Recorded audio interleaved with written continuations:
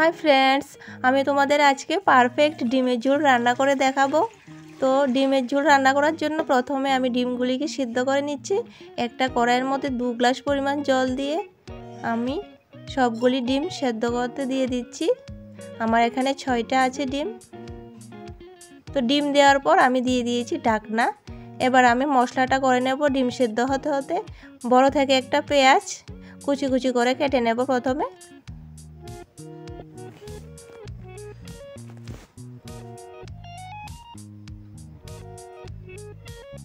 দেখো আমার পেঁয়াজ কুচানো হয়ে গেছে। এবার নিয়েছি একটা বড় থেকে টমেটো। তো টমেটোটাকেও আমি এবার কুচি কুচি করে নেব।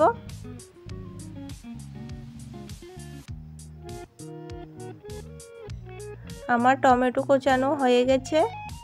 এবার একটা মিক্সিং জারে আমি কুচানো টমেটো আর পেঁয়াজ তাতে দিয়ে দিচ্ছি সাত আটটা কাঁচা লঙ্কা। তো সব কিছু আমি একসাথে পেস্ট করে নিয়ে নিচ্ছি, দেখো ফ্রেন্ডস খুব সুন্দর হয়েছে পেস্ট। এবার চলে এলাম চুলায়। চুলায় এসে আমার ডিম এদিকে সেদ্ধ হয়ে গেছে। ডিম এবার খোসা ছাড়িয়ে নিচ্ছি।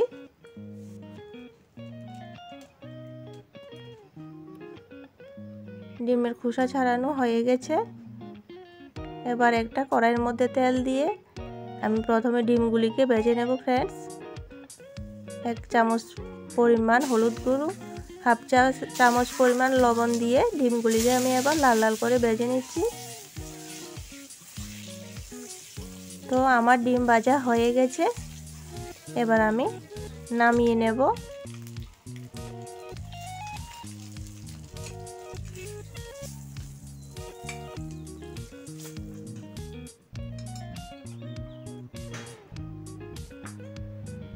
এবার ওই একই তেলের মধ্যে আমি আরও কিছু পরিমাণ তেল দিয়ে দিলাম। দিয়ে দিলাম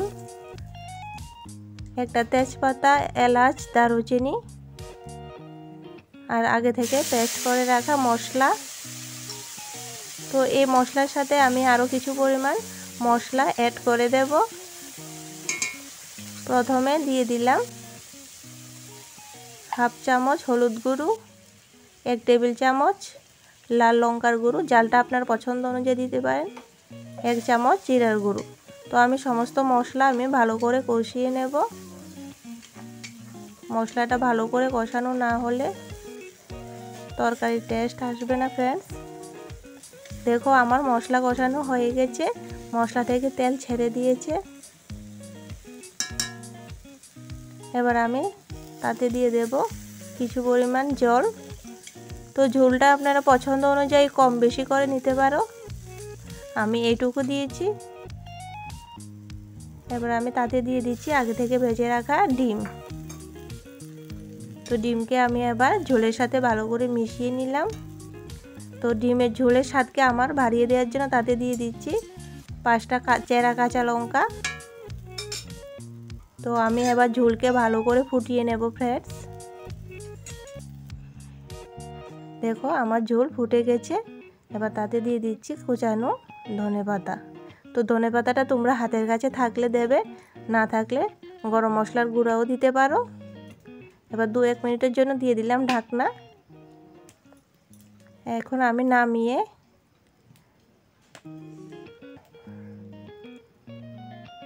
দেখাচ্ছি ফ্রেন্ডস দেখো খুব সুন্দর হয়েছে। তোমাদের সার্ভ করা বাটিতে আমি এবার নামিয়ে দেখাবো।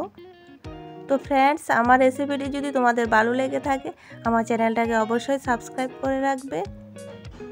আর আমার রেসিপিটি বাড়িতে অবশ্যই ট্রাই করবে আর আমাকে কমেন্ট করে জানাবে তোমাদের কেমন লেগেছে। তো ততক্ষণ তোমরা সবাই ভালো থাকো ফ্রেন্ডস টাটা বাই বাই